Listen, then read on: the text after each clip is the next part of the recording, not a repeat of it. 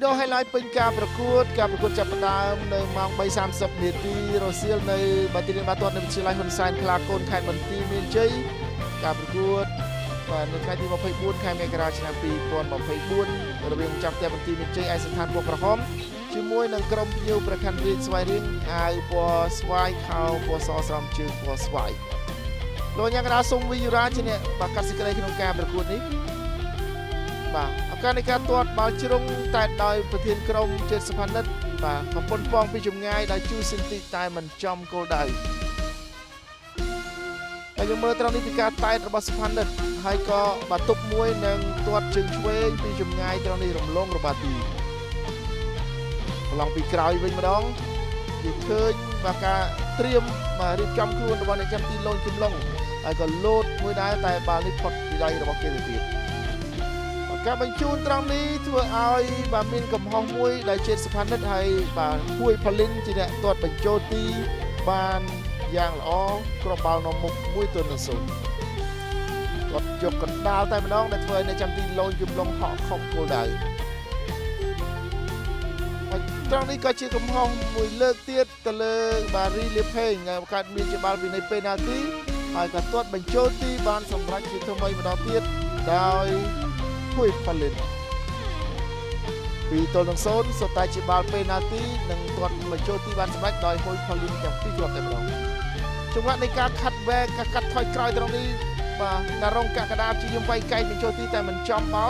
ធ្វើឲ្យសៀនសុភ័ត្រាបាទទាត់បញ្ចូលទីបានយ៉ាងល្អហើយលូនជឹមឡុងមិនអាចជួយសង្គ្រោះបានទេនៅត្រង់នេះ បាទចង្វាក់នេះហើយគឺជាការរបានគ្រាប់បាល់មួយគ្រាប់របស់ពុនកៃសិងតាមរយៈការទាត់របស់វុតដេវីតបុកជាមួយនឹងសុកសំណាងសល់ត្រឡប់មកវិញបាទកីឡាករពុនកៃសិងទៅទៅបដូរចូលបន្ទាប់បាន5នាទីស្រួលបួនផងទាត់បញ្ចូលទីគ្រាប់តាមពីក្រោយ1ទល់នឹង3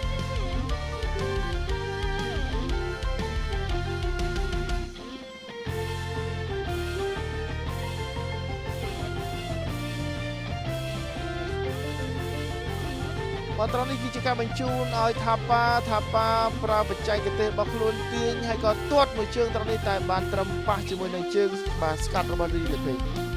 បាទល្អពេកត្រង់នេះមិនរតនៈការទាត់បញ្ចូលទីរបស់គេតាមរយៈបាល់ free kick នេះគឺបុកជាមួយនឹងបង្គោលទីហើយឡងចូលទីបានយ៉ាងល្អមិនរតនៈត្រង់នេះមើលឃើញហើយក៏ទាត់រំលង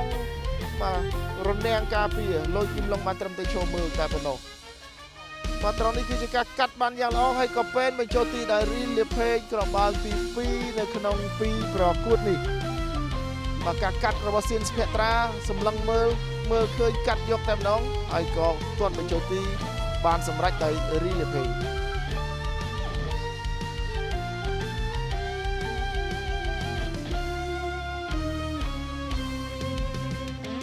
ដួលខ្លួនត្រង់នេះដោយស្រីនចន្ទរាប៉ុន្តែមិនចំបោហើយក៏កាត់ចូលទៅក្នុង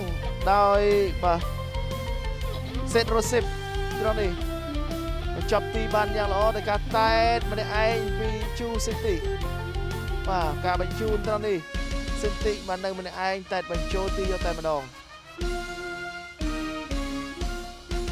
មកយើងមើលពីឱកាសរបស់បន្ទាយមានជ័យមួយម្ដងការតែរបស់ជេតសុផានិតតែមិនចំគោលដៅ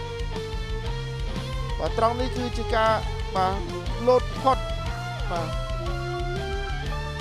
សល់សាយសុភ័ណ្ឌមួយជាអ្នកជួយរារាំងហើយក៏ទាត់បាល់ផ្ដាច់ចេញពីមុខទីរបស់ខ្លួនត្រង់នេះគឺគឹមហុងលីបាទទាញចូលបន្លោះជើងរបស់សុភឿនពីដៅបានយ៉ាងល្អបាទតែបាទការទាត់របស់គេគឺចំចំហរបស់អ្នកចាំទីតម្រង